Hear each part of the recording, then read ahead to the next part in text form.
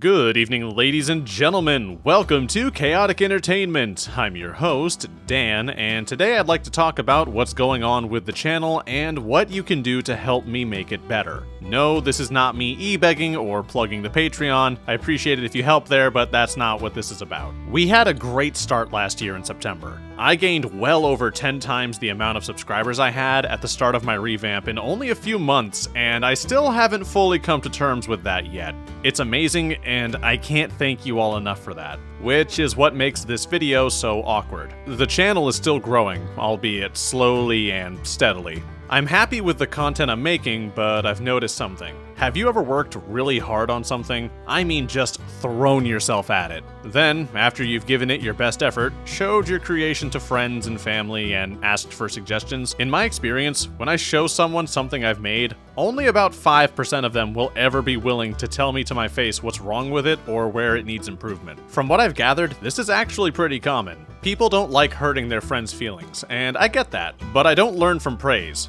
I don't learn from people politely nodding their heads and saying, You did so good, like some special needs child who managed to go a whole 10 minutes without eating the litter box chocolate. No, I need feedback.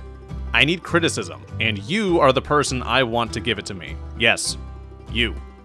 The one listening to this video right now. If you like my channel, or if you like my content, I need you to look me dead in the face, or screen, whatever, and tell me why I suck.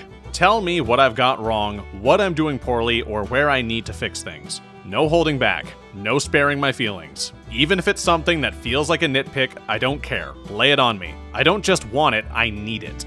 I know this is an odd request, but this is the best way for me to improve. This is the best way for me to learn, and in return, I can take what I get from you and make better content. And at the end of the day, that's all I really care about making the best content I possibly can.